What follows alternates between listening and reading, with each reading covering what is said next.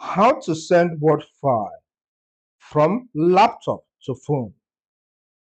Click on the File Explorer. Ensure the Bluetooth of your PC and that of the phone you are sending the file to are on turned on.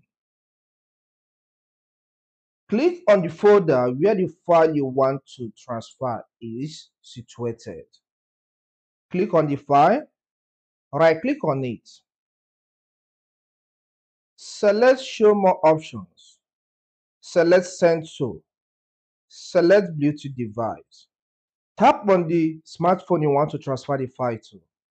Tap on Next.